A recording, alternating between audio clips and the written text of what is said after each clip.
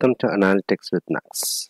In this video, we're going to see about what are different types of dimension in data warehouse. If you're new to this channel, hit the subscribe button and press the bell icon for notification. If you see uh, designing a dimension model that we have seen in our previous videos, and designing a dimension model involves you need to design a fact and dimensions when you say a dimension so a dimension can be of different types. So what are the types? It is conformed dimension role-playing dimension junk dimension degenerated and slowly changing dimensions. So basically once you create a dimension uh, it's typical star schema you will create right but based on the different uh, roles it's playing or how you design it it can be named like conformed role-playing junk so let us see how you can uh, define it based on the requirement so that you will understand. First we'll begin with um, conformed dimensions. So you can see here we have star schema design where sales and purchase is your two fact tables surrounded by different dimension tables. In case of sales, retailer, area, time and products are the dimensions connected to sales. For purchase, time, products, supplier and region. If you see a common dimension between these two, right? So the definition of conformed dimension is like if a dimension is used in more than one subject area or more than one fact table or used across different subject areas, then it is called conformed dimension. So this is the definition of it. So it's as simple as that if a dimension is referred uh, multiple fact tables, then it is called conformed dimensions. Role-playing dimension. So now you can see here uh, fact table contains uh, four dimensions date dim promotion sales territory and customer. And whereas uh, the date uh, you in the fact table is linked three times. One is for the order date another for the due date another for the ship date. So the same dimension acting different roles so this is what your role-playing dimensions. So another example can be like location right? So your order location can be one place and your delivery location can be different place.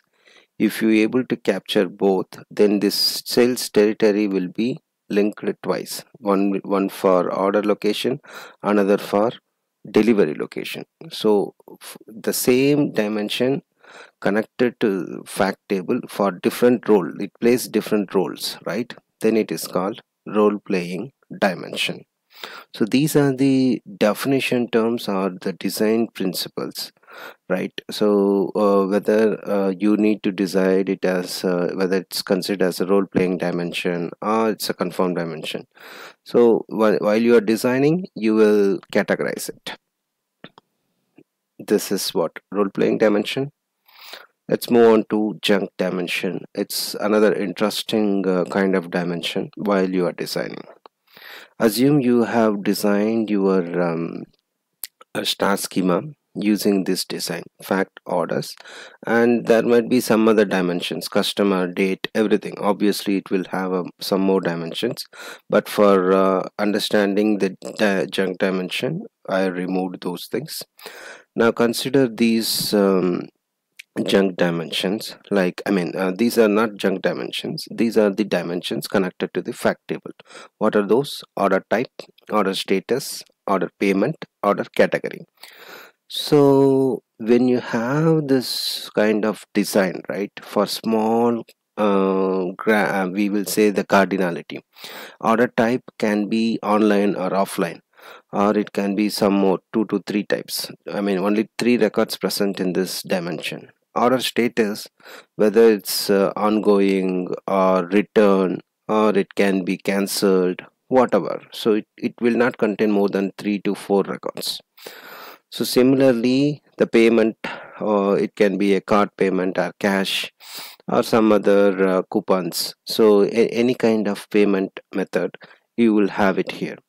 So you have a dimensions but there won't be many records in these dimensions and what you can do is for these you can combine all this uh, dimension into a single dimension. Because assume you have uh, such a design and you also have all the small dimensions together for the sales uh, like uh, order type uh, payment type everything. So it will be too clumsy and people will confuse from different tables. So instead of that along with those if you create your um, this is what I said. So here assume you have customer as well.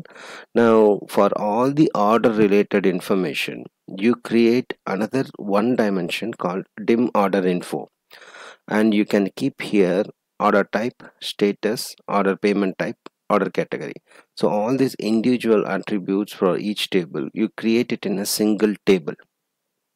How you will create assume you have two records three records five records here.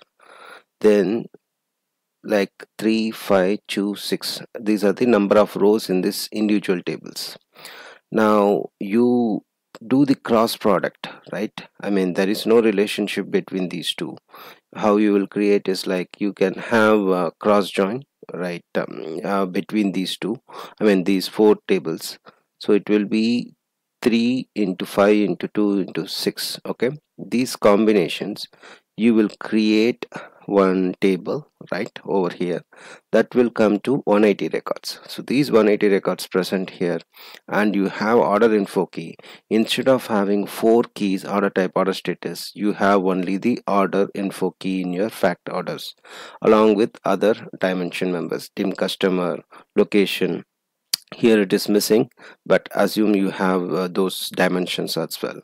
So this is what so your dim order info becomes your junk dimension. So junk definition is like you have a lower cardinality members you have a multiple lower cardinality dimensions and you combine it into a single dimension table. It's called junk dimension. These are the design principles right?